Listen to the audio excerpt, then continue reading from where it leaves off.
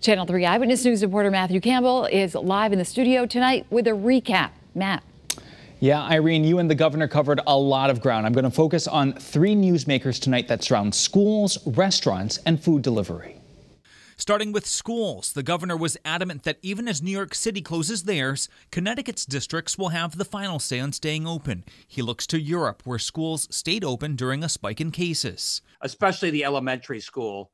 They found, and we have found, that um, masked in the classroom uh, is not only good for your emotional health, good for your educational health, but it's also safe in terms of your physical health. New tonight, we did learn that districts that do close stand to lose out on COVID related financial aid. The governor explained why. It's not a penalty, it's just that you don't need um, the masks, the gowns, the disinfecting, uh, a lot of the things that we're providing schools so they can stay open safely. But if you decide uh, you feel more comfortable closing your school, school or going all virtual, we can redirect that PPE to places that really need it.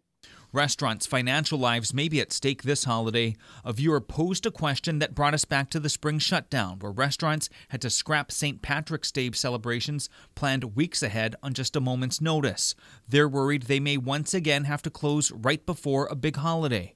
Governor Lamont could not provide them with the assurances they were looking for. The infection rate continues to go up, we've got to do everything we can to bend the curve. I don't want to unnecessarily hassle people, but we want to do things that make a difference. Um, I got to admit that I look at our other states uh, around the country, and um, restricting indoor dining um, is one of the things that uh, is on the menu, so to speak. But there is hope for some in the service industry. Other states are capping fees on delivery services like DoorDash, Uber Eats, and Grubhub at roughly 15%. Governor Lamont thought it was a great idea and will consider making it part of an executive order. You want it at a, at a rate that people are able to deliver the food, especially to seniors, especially to those in quarantine. But I don't want people ripping us off either.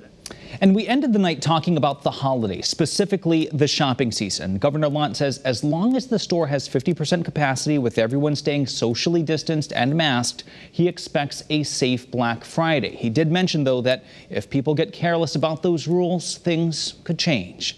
Live here in studio, Matthew Campbell, Channel 13 News.